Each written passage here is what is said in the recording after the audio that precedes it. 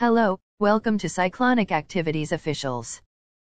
A system, from the South China Sea, is expected to cross over and reach the Bay of Bengal around December 28.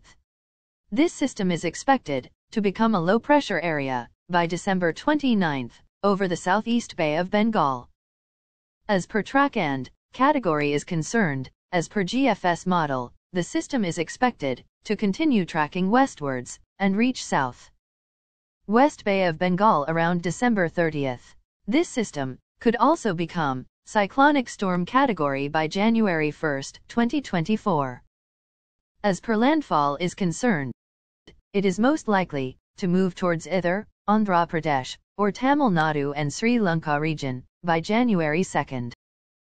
Thus in short, this forecast is based on a long-range GFS model, and slight changes in category and track is expected due to various environmental conditions. Hence, we are looking forward to the LPA system taking shape over the Bay of Bengal around December 29.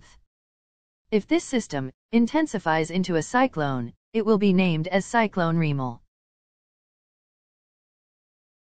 Do share in the comment section about your opinion whether Cyclone Remal will form or not. Don't forget to like, share, comment and subscribe to us for more tropical updates. Thanks for watching. Have a good day.